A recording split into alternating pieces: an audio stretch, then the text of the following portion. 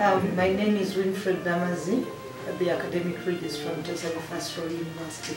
I want to wish all my students and all the alumni out there the Merry Christmas and the Happy New Year.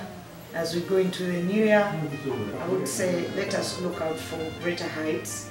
Let us try to do self-development.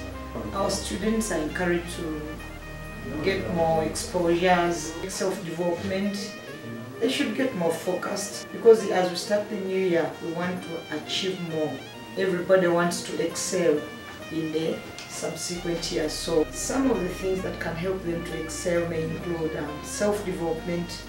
Uh, in this would mean they would wish to acquire more knowledge, reading beyond the classroom, reading beyond lectures, getting exposures in the different books, and most importantly, in whatever ventures they choose to take, let them persist. Because persistence will lead them to greater heights. Thank you. Merry Christmas and a Happy New Year.